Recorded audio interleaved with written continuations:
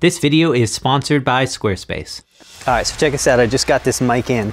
It can actually move around however you want. So if you are doing any kind of vlogging setup or two people, or I want to talk while I'm also recording in front, this is awesome. I can absolutely tune these to be either uh, a mono sound or a stereo sound. You can basically connect these in some kind of a Y pattern and get complete stereo audio.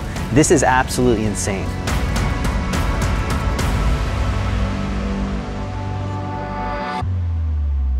All right, what's going on guys? Dan Watson, and I gotta talk to you about this. I actually just got it a couple of weeks ago, been using it like crazy. It is just hitting the market right now, and this might look like a set of rabbit ear antenna, but this is one of the coolest things to happen to shotgun microphones in a long time. And so basically, actually, a couple weeks ago, I just threw out a video going over every type of microphone out there, how I use it, and some of my favorites for each category. So go ahead and check that out. But obviously, one of the takeaways from that video is that I use a lot of shotgun style microphones.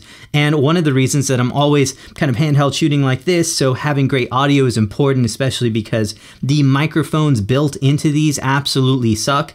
But one of the other reasons is that these are the best microphones for filtering unwanted sounds from different areas and kind of picking up sounds in a specific direction. So that is all well and good, but what happens when the direction you want to shoot audio in is not necessarily in front of the camera? And that is where the Traxshot comes in and really fixes everything wrong about shotgun microphones. So let's kind of break it down a little bit here. So obviously this doesn't look like your standard shotgun microphone, and that's because there's actually two capsules in this, and that is really what sets this apart. So it does have like four pre-programmed modes in here, but you can do so much more with it. So your standard is going to be with the mics pointed in front of you, and that is going to be like your standard shotgun type setting. There are also two different stereo modes. So you have a 30 degree stereo mode right here, and then a 90 degree stereo mode, and you get these nice clicks in each thing. So they got some kind of like ball spring mechanism in there that's really awesome.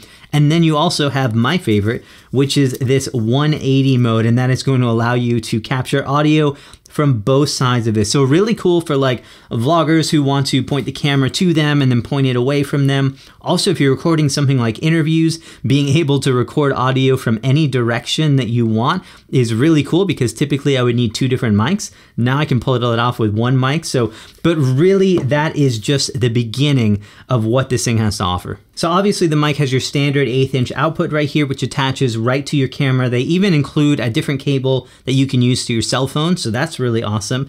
It also has a USB-C, which you can use for charging it. That's kind of important because this is an internal battery on this. So I've used it probably the longest shoot was about four to five hours. I use about 25% battery in that. Some of that might depend on how you use it because on the back of this is actually an IPS screen. And that is really awesome because it actually goes through your different modes. So you can use it to cycle through all of these different modes that you have here. And you can also trigger uh, like your low cut pass filters and things like that on it. So it's really awesome, shows you your battery life and everything like that on it. And then you have a nice level control right on the back, smooth leveling. And then something we don't often see is a headphone jack right on the side right here. So if your camera doesn't have internal monitoring in it, plug in a headphone right into the mic and you can get full audio out of that and just kind of verify that there's no issues with your audio recording right on the mic. So let's talk a little bit about how you use this microphone because it's a little bit different here.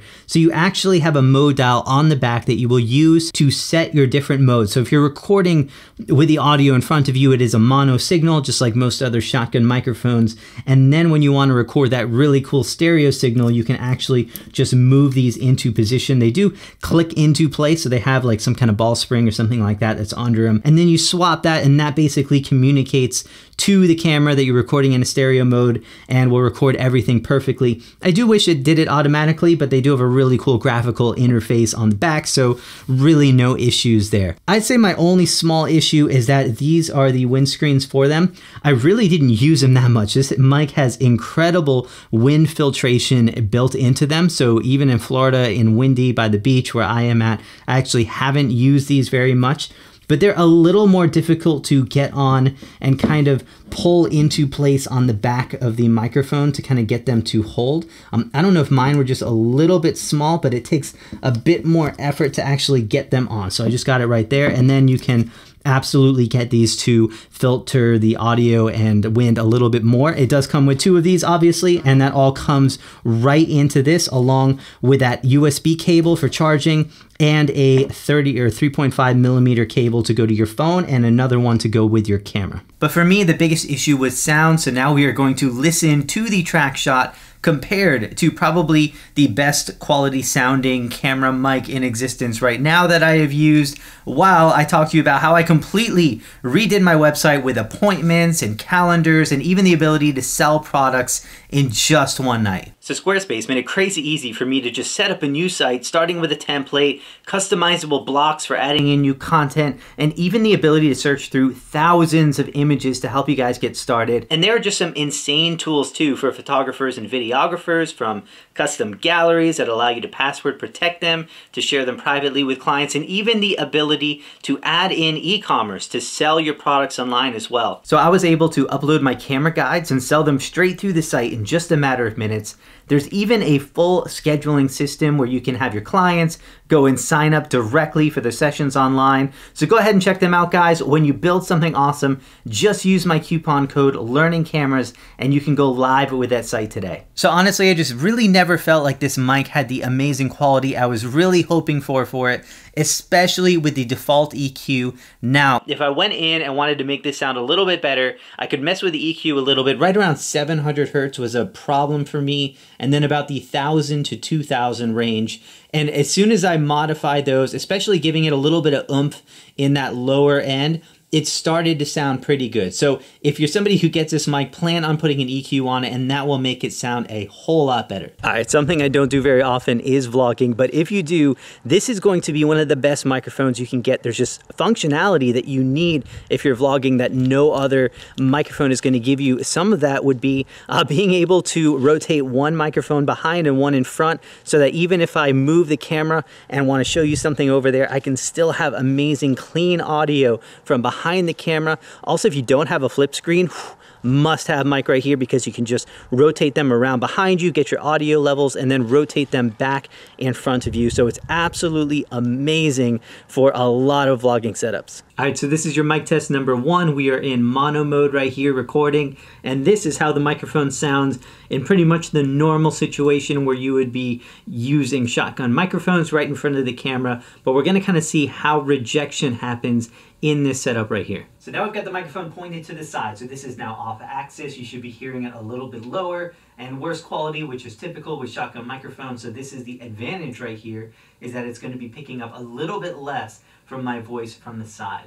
So now we're recording stereo, and this is very different for shotgun microphones, so you can kind of hear how it picks up me in front of it. And then also, as I kind of move to one side versus moving to the other, I'm kind of curious if you can hear any of that separation as I'm moving around the frame, but this is going to be kind of one of those bigger things and bigger differences between this mic and other microphones. All right, so this is the crazy configuration. I've got the mic pointed at me right here. You've got audio coming from the front, but as I turn this thing around, you're gonna begin to hear how that audio changes, and now it is recording me in the back of the microphone. So that will kind of show you some of the differences and how this microphone really separates itself from other microphones on the market. So without a doubt, this is the coolest shotgun mic I have used. Just having the ability of going from mono to stereo to 180 degree patterns, that might be reason enough to pick this thing up. I definitely wish the sound quality was a little bit better. It does get pretty good if you go ahead and EQ this properly. I did reach out to the company and let them know, so if they change anything or let me know anything, I'll let you know in the description below. While you guys are there, I really appreciate you guys liking, subscribing, join me.